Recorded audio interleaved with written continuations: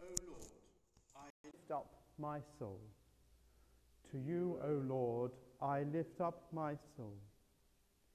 Lead me in your truth and teach me, for you are the God of my salvation. For you have I hoped all the day long. To you, O Lord, I lift up my soul. Remember, Lord, your compassion and love, for they are from everlasting. Remember not the sins of my youth or my transgressions, but think on me on your goodness, O Lord, according to your steadfast love. To you, O Lord, I lift up my soul. Gracious and upright is the Lord. Therefore shall he teach sinners in the way. He will guide the humble in doing right and teach his way to the lowly. To you, O Lord, I lift up my soul. All the paths of the Lord are mercy and truth to those who keep his covenant and his testimonies. For your name's sake, O Lord, be merciful to my sin, for it is great. To you, O Lord, I lift up my soul. Who are those who fear the Lord? Them will he teach in the way that they should choose. Their soul shall dwell at ease, and their offering shall inherit the land. To you, O Lord, I lift up my soul.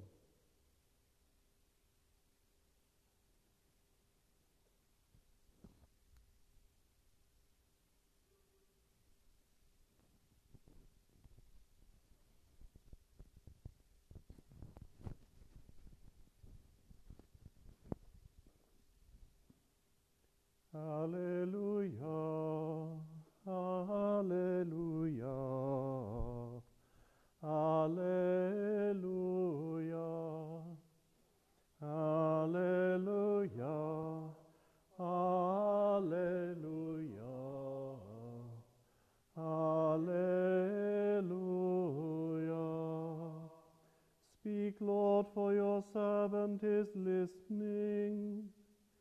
You have the words of eternal life.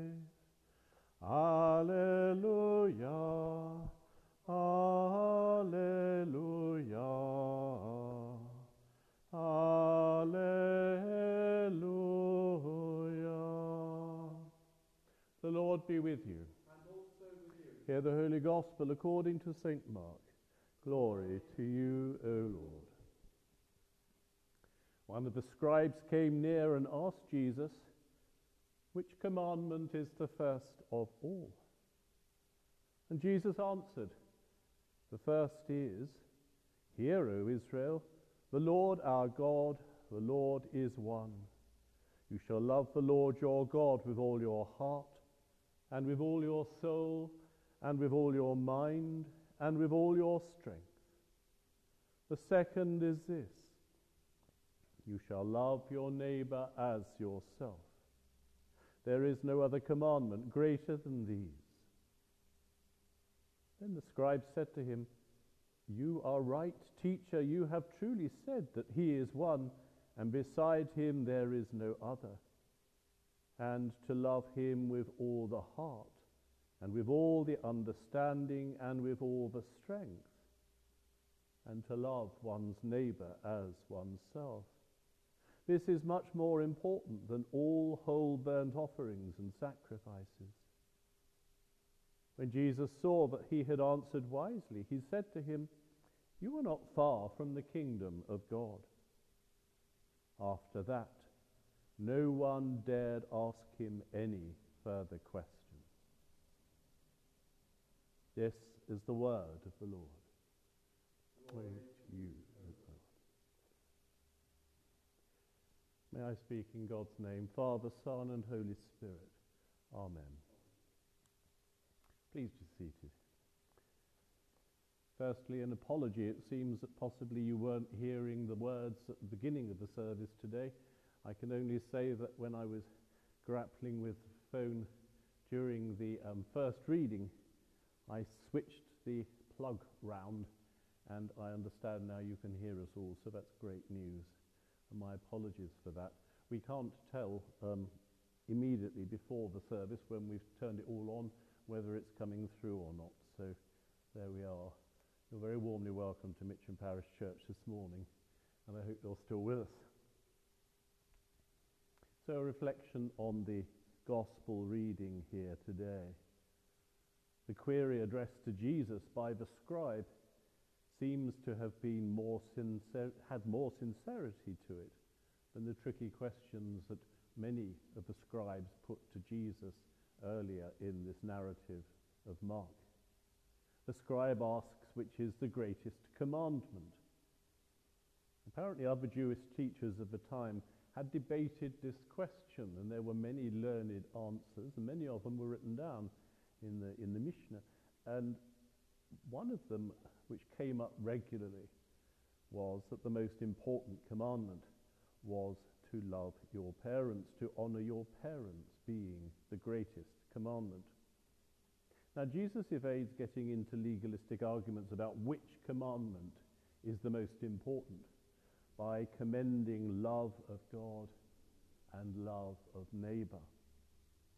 These two demands are much more fundamental than any commandment to do this or to not do that. They require an attitude which is unrelenting in its demands and contains no other possible moral approach. You love God, you love your neighbor. If we were truly to love God and neighbor, then it follows, doesn't it, that all the right behavior carries on. For they are the most fundamental of commands. Loving God and being inspired by Him, and then loving our neighbor, which expresses our love for God and our love for God's creation. As St. Augustine put it, love and do what you will. Now, that might be a bit of an open invitation, but we can follow where Augustine's going there in the sense of love God and then do what you will. And if you love God, you will always follow the right pathway. And I think this is a very, very good gospel reading for us to actually consider on this, the first day after the great feast of Eastertide when we've been celebrating the resurrection of Christ and his return to the Father. It's really important, isn't it, for us to think about how we conducting our day-to-day lives. And we were talking on Sunday about the Holy Spirit coming forth, the Holy Spirit actually being there and breathing life into us, the disciples. And now, of course, we're talking about, well, what do we do when we go out into the world? The motivation and inspiration of love will carry us through every situation. In one sense, the commandment to love God does not require to do anything else specific because everything follows on, and particularly reflection and prayer. For loving God means we have to speak to God and converse with God, and that is how we pray. And as soon as we actually pray, so we become thoughtful in our conversations with God about how we behave in the world. And so we actually need that guidance. But we don't need that moralistic guidance of the Old Testament commandments in one sense. We don't need to be told not to kill, not to commit adultery and all of those other things because we know how damaging they can be. But we do know that loving God and following God and being connected to God is fundamental. A loving relationship to God, a prayerful relationship with God, nourished by prayer, nourished by reflection, nourished by our conversation with Him, knowing that He's always there for us, is probably more effective for our living than all the repeated do's and don'ts in the whole of Christendom. So let us resolve in this new ordinary time to make sure that we indeed do put God first and neighbour alongside him. Amen. And so we come to our intercessions, we come to our prayers, when we open ourselves to God and bring to Him our petitions. So, in the power of the Spirit and in union with Christ, let us pray to the Father. Heavenly Father, we bring before you our prayers this day, praying especially for your church. We pray for Justin, our Archbishop, Christopher, Bishop of Southwark, and Richard, Bishop of Kingston. We pray for Simon, our Archdeacon, and Rachel, our Area Dean. We pray for the parishes of this deanery, and we pray especially for the Mitcham parishes, praying particularly for this parish at this time, asking God to bless all who are members of this parish church.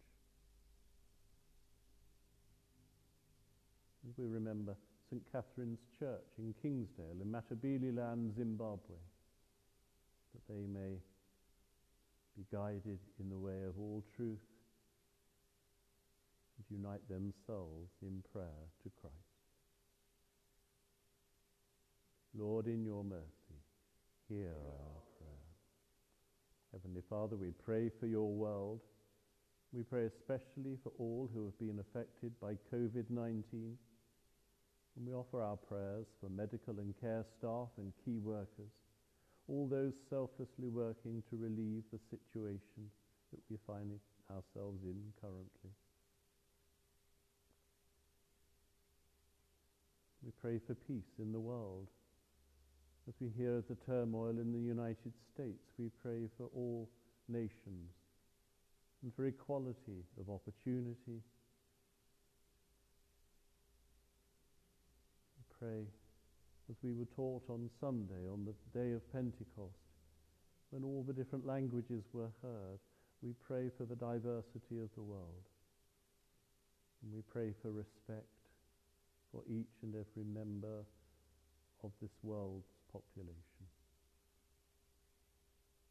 Lord, in your mercy, hear our. Heavenly Father, we bring before you our concerns, particularly for our neighbours, and we pray for those who we know are sick or in need at this time. We pray for Dylan Long, Steve Watts, Simon Emin, Anita Kylo, Robert Willer, Maria Yanaku, Peter Coley, Margaret Hudson, Kwame, Sandra Wood, Anne Gillis, and Barbara Atkins. We pray for those in our intercessions book. And in a moment of silence, we pray for those who we carry in our own hearts this very day.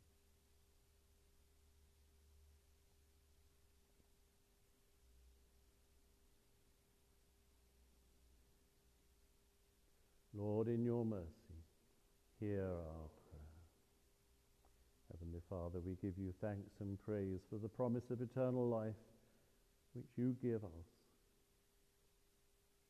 We pray for the departed, remembering those who have recently died Paula Hughes, David Cooper, and William McLennan. We remember those whose year's mind falls at about this time, giving thanks for their lives, their example, and their love. Rest eternal grant them, O Lord, and let light perpetual shine upon them. Lord, in your mercy, hear our prayer. Father, we offer all our prayers to you as we come to your throne this morning, as we seek your blessing as we go on with our day to day lives. Merciful Father, accept these prayers for the sake of your Son, our Saviour, Jesus Christ. Amen. And so we come to the peace. Will you all please stand for the peace? We are the body of Christ. In the one Spirit we were all baptized into one body. Let us then pursue all that makes for peace and builds up our common life. The peace of the Lord be always with you. Thank you. Let us offer one another a sign of peace and pray for those who we would usually be offering the peace to at this moment if we were privileged to be in church saying our prayers. Peace be with you.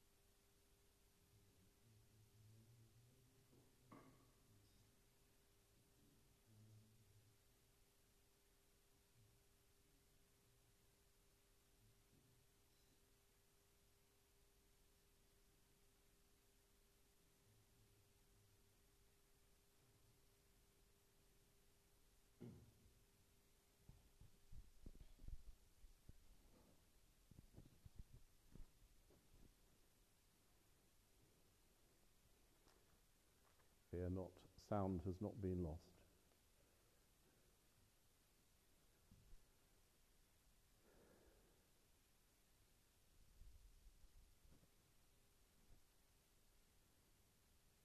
Blessed are you, Lord God of all creation, for through your goodness we have this bread to offer, which earth has given and human hands have made. It will become for us the bread of life. Blessed be God forever. And blessed are you, Lord God of all creation, for through your goodness we have this wine to offer, fruit of the vine and the work of human hands. It will become for us the cup of salvation. Blessed be God forever. Yours, Lord, is the greatness, the power, the glory, the splendor, and the majesty. For everything in heaven and on earth is yours. All things come from you, and of your own do we give you. The Lord is here. Lift up your hearts. Let us give thanks to the Lord our God. Father, we give you thanks and praise for your beloved Son, Jesus Christ, your living word, through whom you have created all things, who was sent by you in your great goodness to be our Saviour. By the power of the Holy Spirit, he took flesh. As your Son, born of the Blessed Virgin, he lived on earth and went about among us.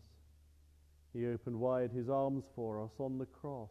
He put an end to death by dying for us and revealed the resurrection by rising to new life. So he fulfilled your will and won for you a holy people. Therefore, with angels and archangels, and with all the company of heaven, we proclaim your great and glorious name, forever praising you and saying, Holy, holy, holy Lord, God of power and might. Heaven and earth are full of your glory. Hosanna in the highest. Blessed is he who comes in the name of the Lord. Hosanna in the highest. Lord, you are holy indeed, the source of all holiness. Grant that by the power of your Holy Spirit, and according to your holy will, these gifts of bread and wine may be to us the body and blood of our Lord Jesus Christ,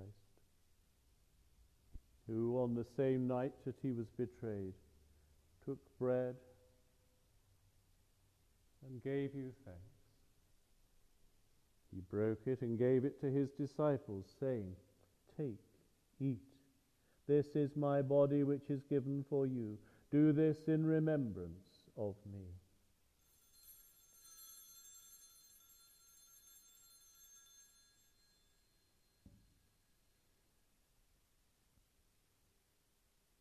In the same way, after supper, he took the cup, and again he gave you thanks.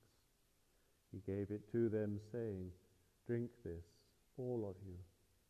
This is my blood of the new covenant, which is shed for you and for many for the forgiveness of sins. Do this as often as you drink it, in remembrance of me.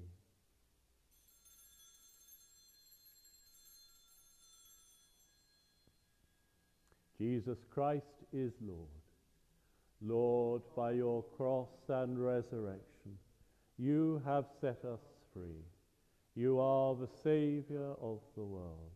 And so, Father, calling to mind his death on the cross, his perfect sacrifice made once for the sins of the whole world, rejoicing in his mighty resurrection and glorious ascension, and looking for his coming in glory, we celebrate this memorial of our redemption. As we offer you this, our sacrifice of praise and thanksgiving, we bring before you this bread and this cup. And we thank you for counting us worthy to stand in your presence and serve you. Send the Holy Spirit on your people and gather into one in your kingdom all who share this one bread and one cup, so that we, in the company of Mary, the Mother of God, Peter, Paul, and all the saints, may praise and glorify you forever through Jesus Christ our Lord, by whom and with whom and in whom, in the unity of the Holy Spirit, all honor and glory be yours, Almighty Father, forever and ever. Amen.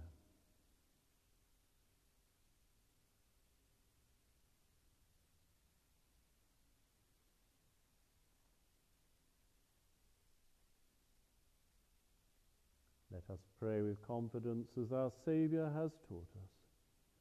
Our Father, who art in heaven, hallowed be thy name. Thy kingdom come, thy will be done on earth as it is in heaven. Give us this day our daily bread, and forgive us our trespasses, as we forgive those who trespass against us. And lead us not into temptation, but deliver us from evil.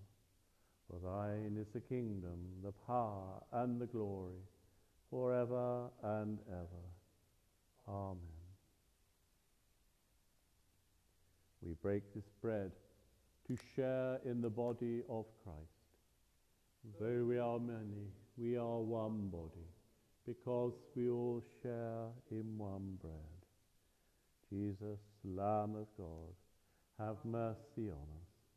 Jesus, bearer of our sins, have mercy on us. Jesus, Redeemer of the world, give us your peace.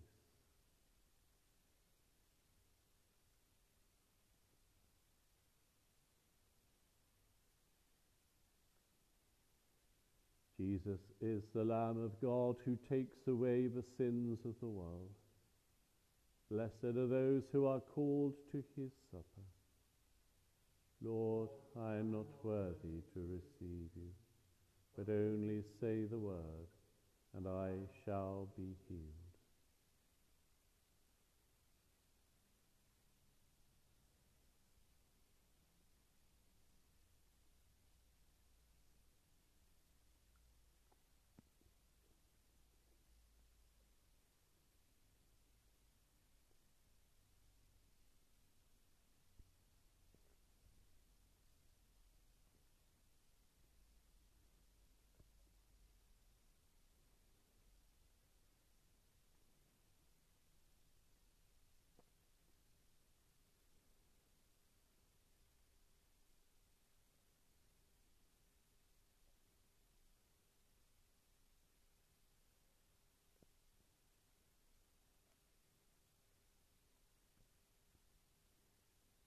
Almighty and eternal God, you have revealed yourself as Father, Son, and Holy Spirit.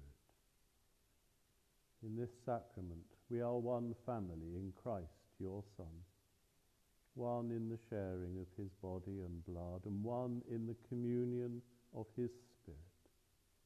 Help us to grow in love for one another and come to the full maturity of the body of make our prayer through your Son, our Saviour Jesus Christ. Amen.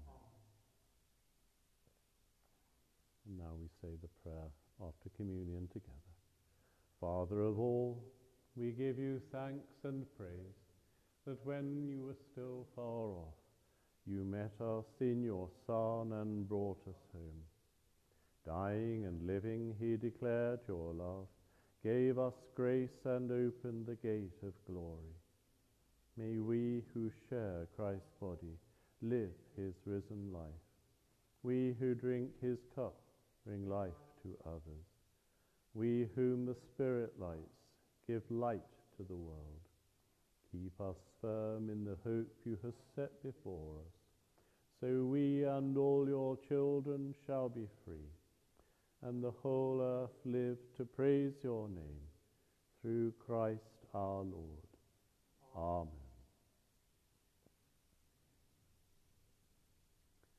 Just before our service finishes this morning, I'd like again to apologize for the hiatus at the beginning, where it seems that the sound wasn't carrying through onto our Facebook broadcast. But I know now that you can hear what's going on. Hopefully, you still can hear what's going on. We will continue to broadcast our services regularly on Tuesday at 9:30 and on Sunday at 10 o'clock, our usual parish times and we do look forward to welcoming you and hopefully seeing and hearing both elements on Sunday. I'm mindful of the fact that, in actual fact, we may, it means that we didn't actually get to hearing even the collect this morning. So I will pray the collect before the blessing so that we can all join together in that. So let us pray. O Lord, from whom all good things come, grant to us, your humble servants, that by your holy inspiration we may think those things that are good, and by your merciful guiding may perform the same. Yes, we ask through our Lord Jesus Christ, who is alive and reigns with you in the unity of the Holy Spirit, one God now and forever. Amen. The Lord be with you. The peace of God, which passes all understanding, keep your hearts and minds in the knowledge and the love of God and of his Son, Jesus Christ our Lord. And the blessing of God Almighty, the Father, the Son, and the Holy Spirit be with you and remain with you now and always. Amen. Now go in peace to love and to serve the Lord. In the name of Christ. Amen.